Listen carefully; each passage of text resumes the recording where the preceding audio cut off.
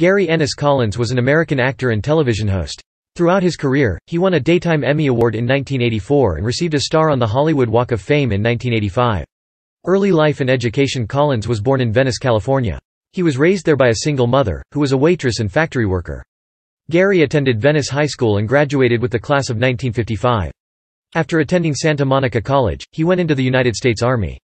Early career Collins enlisted in the Army and served in Europe, where he was a radio and television performer for the Armed Forces Network. After his return, he performed at the Barter Theater, a year-round repertory theater in Abingdon, Virginia, whose director Robert Porterfield provided chances for many aspiring actors. Film and television Collins made a career in television, co-starring, with Jack Warden and Mark Slade, in the 1965 series The Wackiest Ship in the Army.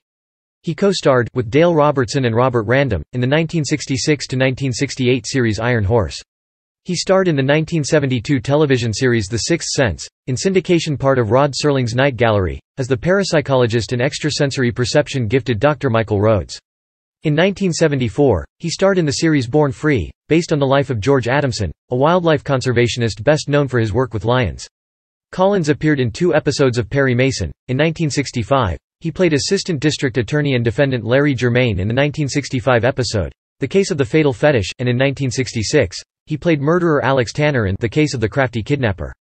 Collins guest starred in dozens of television shows beginning in the 1960s, including The Virginian, The FBI, Hawaii Five-O, The Six Million Dollar Man, Alf, Alice, The Love Boat, The Bionic Woman, Charlie's Angels, Roots, Gimme a Break, Friends, Yes, Dear, Jag, and most recently Dirty Sexy Money.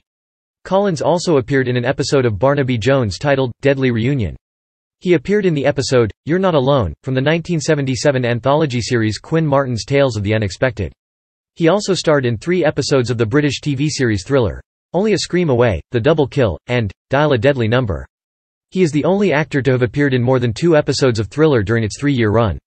Collins also had many movie roles, including The Pigeon That Took Rome, Angel in My Pocket also starring Andy Griffith, The Original Airport, Quarantined, Houston, We've Got a Problem, The Night They Took Miss Beautiful, the horror thriller Killer Fish, starring Lee Majors, Watchers Reborn, and The Jungle Book, Search for the Lost Treasure. He also played an American astronaut involved in a UFO cover-up in the 1980 film Hangar 18. Collins hosted the television talk show Hour Magazine from 1980 to 1988, and co-hosted the television series The Home Show from 1989 to 1994. He was the host of the Miss America pageant from 1982 to 1990 his wife Mary Ann Mobley and he replaced Bob Barker as co-hosts of the Pillsbury Bake Off from 1984 to 1988. Awards Collins was nominated for an Emmy Award six times and won in 1983 for Outstanding Talk Show Host. In 1985, he received a star on the Hollywood Walk of Fame. Personal life and death Collins was first married to Susan Peterson, with whom he had two children, Guy William and Melissa Collins. They divorced. In 1967, Collins married Mary Ann Mobley Miss America. They had one child, a daughter, Mary Clancy Collins. They separated in 2010, but reconciled soon after. He moved to her home state of Mississippi to be with her in 2012 while she battled breast cancer. Collins died around 1 a.m. on October 13, 2012, at Biloxi Regional Medical Center in Biloxi, Mississippi of natural causes. Legal issues The final decade of Collins's life was marred by several run-ins with the law. In January 2008, Collins served four days in jail in Glendale, California, for his second DUI conviction.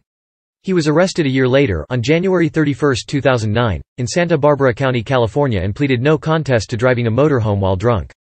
He was sentenced to 120 days home detention, according to a Santa Barbara County Sheriff's Office spokesperson. His blood alcohol content was measured at 0.29, more than three times the legal limit. In November 2010, Collins was charged with a misdemeanor for leaving the scene of an accident in Jackson, Mississippi and fined $500. On January 5, 2011, Collins was charged with defrauding an innkeeper, a felony in Harrison County, Mississippi, for allegedly failing to pay his bill at Giuseppe's restaurant, according to a statement released by the Biloxi Police Department.